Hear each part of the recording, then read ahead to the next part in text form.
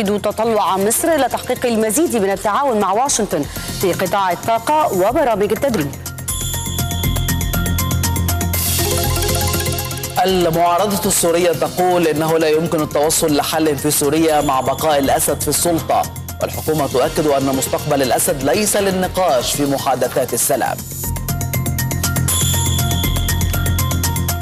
ومجلس النواب الليبي يصوت اليوم على منح الثقة لحكومة الوفاق الوطني.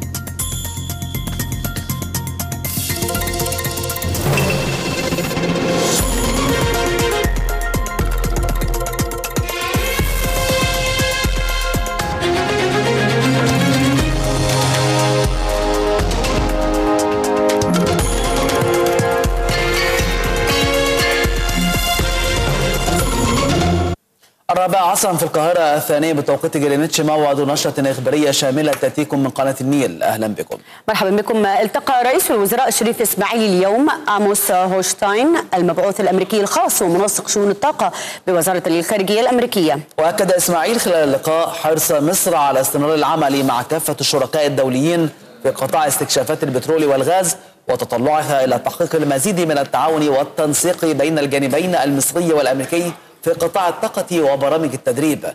من جانبه أكد المبعوث الأمريكي الخاص أن بلاده تتطلع إلى ضخ المزيد من الاستثمارات الأمريكية في مجال استكشافات البترول والغاز في البحر الأبيض المتوسط ومنطقة الدلتا في مصر التي تمتلك البنية الأساسية المناسبة لتكون مصدرا رئيسيا لتقديم الخدمات المتعلقة بالغاز لعدد من الدول الأخرى خلال المرحلة المقبلة. والمزيد من المتابعة ينضم إلينا مراسل النيل لدى مجلس الوزراء أحمد أبو الحسن أحمد هل من نقاط أخرى غير تلك التي أوردناها في الخبر تمت مناقشتها بين الجانبين؟ بالفعل كان لقاء السيد المهندس شريف إسماعيل رئيس الوزراء اليوم مع المبعوث الأمريكي الخاص فيما يخص شؤون الطاقة بوزارة الخارجية. كان يعني لقاء هاما حيث أكد خلاله السيد رئيس الوزراء مهندس شريف إسماعيل على حرص الحكومة على استمرار العمل مع كافة الشركاء الدوليين في قطاع استكشافات البترول والغاز. كان هذا اللقاء فيما يتعلق بالعلاقات المصرية مع الدول المختلفة وخاصة مع شركات الغاز الأمريكية التي تعمل في مصر. أكد السيد رئيس الوزراء على حرص الحكومة على دعم هذه الشركات من خلال توفير العديد من نطاق الاستكشافات في مصر في كافة الأماكن. صرح أيضا السفير حسام القويش المتحدث الرسمي باسم رئاسة مجلس الوزراء أن رئيس مجلس الوزراء أيضا أشار إلى ما يليه برنامج عمل الحكومة من اهتمام خاص بقطاع الطاقة وتوفير الاحتياجات اللازمة لتوفير الكهرباء للقطاعات الصناعية والخدمية والسكانية وغيرها من القطاعات المختلفة. من جانبه أكد المبعوث الأمريكي الخاص أن بلاده تتطلع إلى ضخ المزيد من الاستثمارات الأمريكية في مجال استكشافات البترول والغاز في البحر الأبيض المتوسط. أشكرك شكرا جزيلا. أحمد أبو الحسن مراسل النيل لدى مجلس الوزراء. عقد العهد الأردني الملك عبد الله الثاني والرئيس الفرنسي فرانسوا أولاند قمة في قصر الحسينية.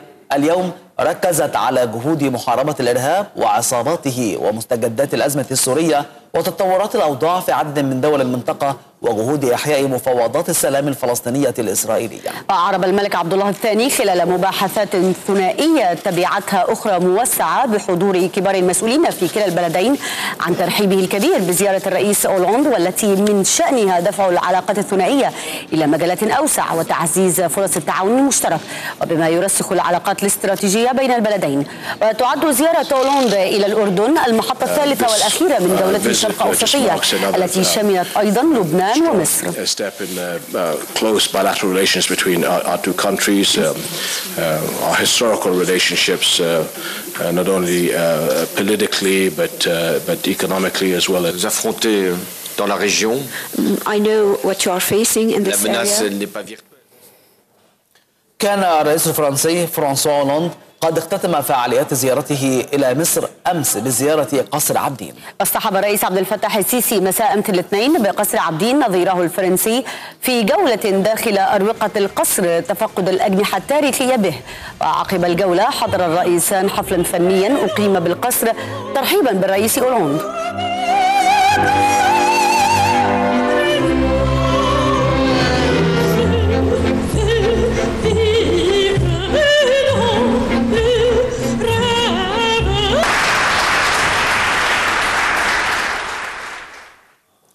أولاند وزير الدفاع والإنتاج الحربي الفريق أول صدق صبحي مع نظيره الفرنسي جان إيف لورديان قد تفقد قاعدة جوية تضم مقاتلات من طراز رافال وميراج الفرنسيتين. والتقى الوزيران الطيارين والضباط والأطقم الفنية بالقاعدة. أعرب الفريق أول صدقي صبحي عن اعتزازه بالروابط القوية التي تجمع القوات المسلحة لكلا البلدين. كما أكد وزير الدفاع الفرنسي أن مصر هي ركيزة أساسية لاستقرار الشرق الأوسط وأشاد بكفاءة الأطقم المصرية خلال تدريب على مقاتلات رافال. في إطار علاقات الصداقة والتعاون العسكري التي تربط مصر وفرنسا.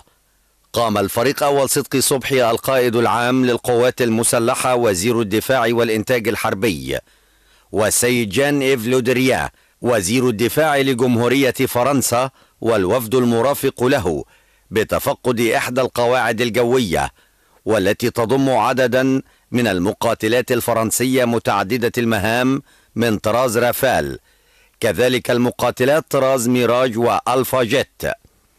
وقدم فريق الألعاب الجوية عرضا جويا ترحيبا بالضيف كما شاركت طائرات الميراج والجازيل في تقديم عروض جوية متعددة حاملة الأعلام المصرية والفرنسية.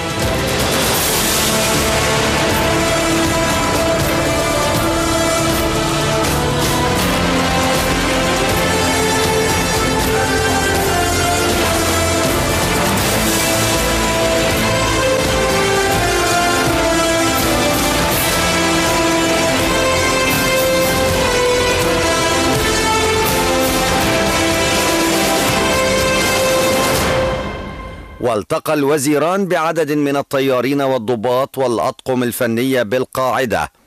وأعرب الفريق أول صدقي صبحي عن اعتزازه بالروابط والعلاقات القوية التي تجمع القوات المسلحة لكلا البلدين الصديقين. مشيرا إلى المواقف الفرنسية الداعمة للشعب المصري وقواته المسلحة خلال الحرب على الإرهاب والتعاون في تطوير وبناء القدرات القتالية للقوات المسلحة. من جانبه أعرب وزير الدفاع الفرنسي عن سعادته بالزيارة مؤكدا على عمق العلاقات التاريخية التي تربط البلدين ومعربا عن تقديره الكامل لمصر حكومة وشعبا متمنيا لها دوام الاستقرار والتقدم لاستعادة مكانتها الرائدة إقليميا ودوليا. حضر الزيارة الفريق يونس المصري قائد القوات الجوية وعدد من قادة القوات المسلحة وعدد من المسؤولين العسكريين الفرنسيين. كان أولاند قد قام مساء أمس بزيارة قلعة صلاح الدين الأيوبي والمتحف القبطي ورافقه خلال الزيارة وزير الآثار خالد العناني. وأبدى أولوند انبهاره بما شاهده من آثار وحضارة تحكي تاريخ أمة بأكملها مؤكدا أن اختياره لزيارة القلعة والمتحف القبطي جاء ليؤكد أن مصر بلد الأمان والتسامح منذ أقدم العصور. وبعث أولوند برسالة طمأنينة من قلب المتحف القبطي دعا فيها مختلف دول العالم لزيارة مصر مؤكدا أن الفترة القادمة ستشهد التعاون بين مصر وفرنسا بالعديد من المجالات من بينها مجال العمل الأثري. À ce que l'Égypte retrouve confiance en ce صرح المتحدث باسم الخارجية الأمريكية جون كيربي بأن وزير الخارجية الأمريكي جون كيري سيزور القاهرة غدا الأربعاء. وأضاف كيربي أن كيري سيلتقي خلال الزيارة مع وزير الخارجية سامح شكري في جلسة مباحثات تتناول القضايا الثنائية الرئيسية بين البلدين. يواصل مجلس النواب خلال جلسته العامة اليوم مناقشة تقرير لجنة الرد على بيان الحكومة. ويعقد المجلس جلستين اليوم بهدف الانتهاء من مناقشة بيان الحكومة ومنح الكلمات للأعضاء الذين تقدموا بطلبات مسبقة للتعليق على برنامج الحكومة. ومن المقرر أن تكون جلسة المجلس غدا الأربعاء هي آخر جلسات البرلمان لمناقشة بيان الحكومة وسيجري أو سيجرى خلالها التصويت النهائي على البيان ومنح الثقة للحكومة من عدمه. وللمزيد من المتابعة ينضم إلينا من مجلس النواب عبر الهواء مباشرة عمرو عبد العزيز مراسل النيل. عمرو بعد التحية يعني كيف تتابع لنا جلسات مجلس النواب خاصة ما يتم اليوم مناقشته بخصوص تقرير لجنة الرد على بيان الحكومة؟ وهل سيكون الرد غدا على البيان؟ نعم محمد يعني أوشك البرلمان من الانتهاء من مناقشة برنامج الحكومة الذي يشمل سبعة محاور. البرلمان حدد العديد من الجلسات بداية من الأسبوع الماضي وحتى هذا الأسبوع لمناقشة هذا البرنامج ولمناقشة تقرير اللجنة الخاصة التي قامت بالفحص في تفاصيل هذا البرنامج. كان من المفترض الانتهاء من هذه المناقشة في الأسبوع الماضي وبدء التصويت حول هذا البرنامج من قبل أعضاء البرلمان في تواجد الحكومة لكن نظرا لعدد كبير تقدم للإدلاء بكلمته ورأيه حول هذا البرنامج من النواب. فتم مد هذه عملية المناقشة حتى هذا الأسبوع وحتى جلسات هذه الأسبوع هذا الأسبوع. ربما سيكون يوم الغد أو يوم هذا اليوم. يكون آخر الجلسات التي يتم فيها مناقشة هذا البرنامج وهناك يعني أخبار تشير إلى أنها ستكون جلسة الغد الصباحية هي آخر هذه الجلسات.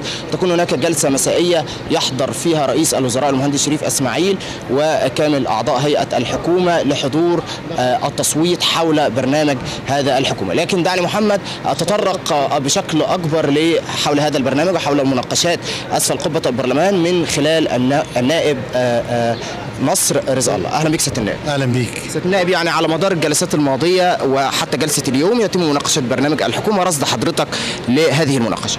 هو أغلبية النواب اللي ناقشوا الحكومة ناقشوا عشان زيادة الصادرات لتصل ل 10% والنمو حتى النمو بقى يوصل ل 6% وكان أعظم مناقشة الأعضاء حول البطالة وحول أحوال الصحة والتعليم في حاجة يعني وهذا البيان يعني كان متفق مع سياسة السيد رئيس الجمهورية لعام 2030 2030 وهو يعني بيان ممكن نقول يعني لا يختلف عن بيانات الحكومة السابقة إلا في بعض الشيء ولكن هو بيان ممكن نقول بيان طويل المدى.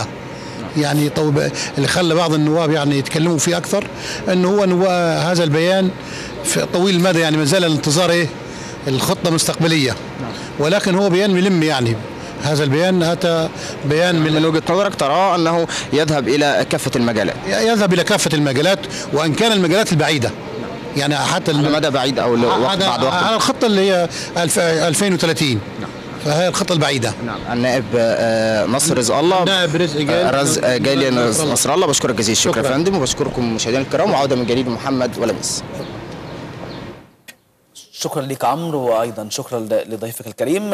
ونتابع هذه النشرة حيث تعقد اللجنة العليا للانتخابات برئاسة المستشار أيمن عباس. رئيس اللجنة مؤتمرا صحفيا مساء اليوم. بمقر الهيئة العامة للاستعلامات لإعلان نتيجة الجولة الأولى من الانتخابات التكميلية على مقعد مجلس النواب بدير الطلخة ونبروة بمحافظة الدقهلية. واوضحت اللجنة